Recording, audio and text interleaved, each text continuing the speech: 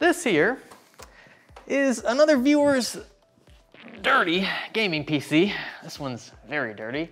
Hence why we're filming the intro of this video in my garage, because I don't want this thing inside in its current state.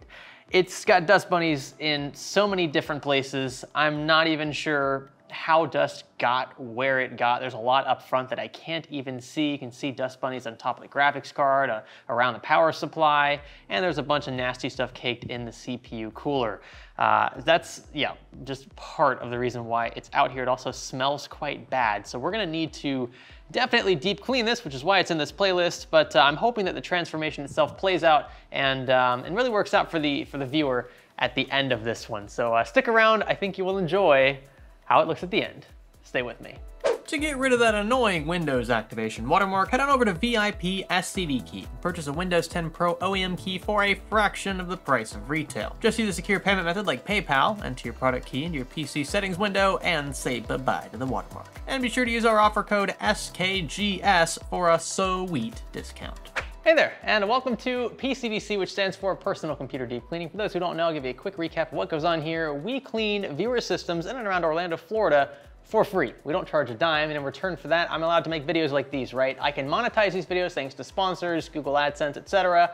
And so that's how I make my money, and I don't want to offload any of that uh, labor that I would otherwise, I guess, have to charge to the viewer who was already gracious enough to loan us his or her system to create the video that we can monetize. So uh, I think it's a, a, really good relationship that we've developed with the community. And uh, of course, it's always great seeing uh, builds like these be cleaned up and revitalized and uh, just yeah, breathing new life into systems that otherwise would go unused. This build here is very old, one of the dead giveaways. The fact that the motherboard is blue, not much we can do about that. But the case is another dead giveaway, and it's, yeah, it's a bit dated. Um, it's, it's actually a very airflow centric case, which is nice for, uh, for an older style chassis, but I think we can revamp that. Uh, so the one thing I'm going to swap out is the case, again, courtesy of Be Quiet. It's a 500DX, I'm sure you've seen that before here in this playlist, but I think that's gonna go a long way to revitalizing the build, again, making it look a bit more modern. Other than that, everything else in here, we will deep clean ourselves and attempt to recycle, to reuse in the, uh, in the new build, so to speak, even though the only thing changing is the case. So I think that's gonna be well worth the watch because at the end of this, pretty much everything else is going to be exactly the same, uh, just much cleaner, hopefully. Uh, with that, the only other thing I want to mention is our cleaning gear. All that is in the video description if you want to check any of that out and maybe clean your system. If you do it habitually, then you'll never have to worry about this because once it gets this bad, you've got to deep clean it. You can't just blast it with a can of air. That's not going to tackle even half of the dust and other grime in here. With that, we're gonna cue the music and I don't know, stick around for the ride. I think you'll enjoy it. Here we go.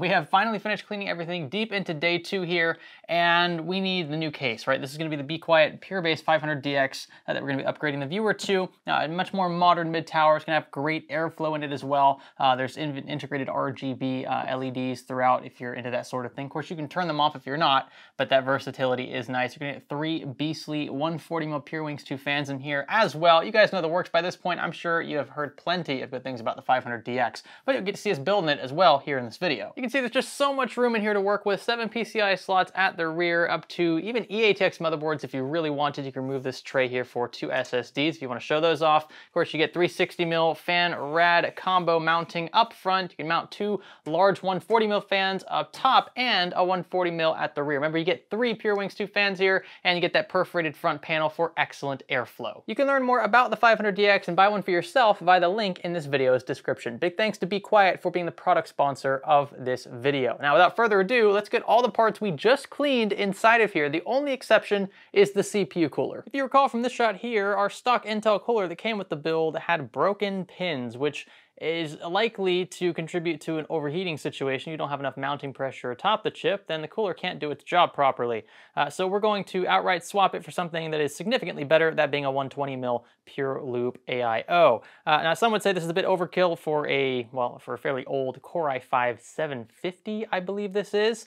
But uh, I mean, worst case, this can always be migrated to a more modern build later. I think for now, it'll be nice and quiet and it should keep the CPU, of course, nice and cool. All right, and with a bit of TLC PLC. Just took uh, about 30 minutes or so to get all these components in here wired up. I think it's ready to be powered on. I'll quickly show you behind the 500DX so you can get an idea of what we're working with cable management wise. Plenty of space behind the motherboard tray. Uh, there are tons of excess cables with this older Corsair unit, so uh, it just kind of stuffed these underneath, but you can't really tell that we were running out of space at all. Uh, and I think that the right side panel should just slide right on, which by the way, has a lot of sound damping material on it, so that's nice. We're gonna power on here at the rear and power buttons in the middle up top. Uh, one of the fans isn't spinning. It should be a quick fix. Might have come unplugged when I put the right panel on. I can hear the AIO churning fluid, that's great. And there's our post, all right. Not that we should be too surprised, but it's always important that we check this ahead of time. Uh, we don't wanna give a system that was previously working back to the viewer dead. That would look pretty bad. Ah, there we go. Now all the fans are spinning.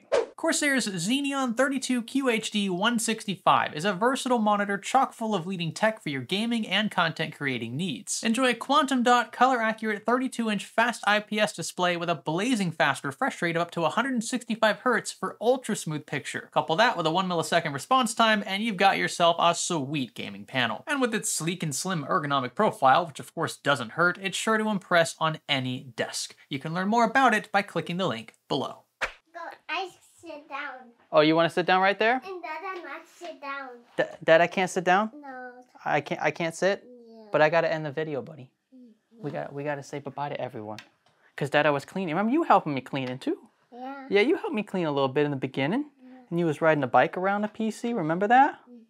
Right. Well, uh, thanks for watching this far into it. I think the transformation um, was really satisfying to see play out, and I'm glad that the uh, the build is revitalized. There's a lot that you can do with just replacing the case of an older build. Uh, it just brings new life to it, makes it seem a lot more youthful. You can always upgrade the platform later on. With that, if you or someone you know lives in and around Orlando, Florida, and has a very dirty PC, I would love a chance to clean it. You can check out our form. Uh, it's linked in the video description, and there you can submit photos, let us know about the system, the specs, and uh, just tell us about it. Tell us why it's as dirty as it is, and we'd love a chance to uh, to clean it in this playlist here. Uh, same goes for consoles. If you have a very dirty console, doesn't matter how old or how new it is, if it's disgusting, we'd also like a chance to clean that for our GCDC series. You'll probably notice that I've tried to shorten these videos up a tad. They've been stretching into the 20, 30 minute mark, and I think that's a bit excessive. Uh, so I'm trying to condense these down to just like the meat and potatoes, essentially the cleaning itself, and uh, making sure that things power on in the end. And of course, our call to action, because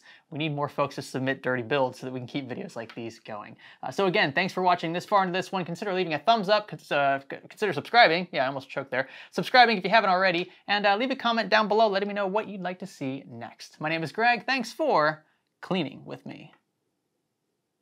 Okay, good job, buddy. Yeah. Bravo. Yeah, give a high five. Give a high five. Bravo.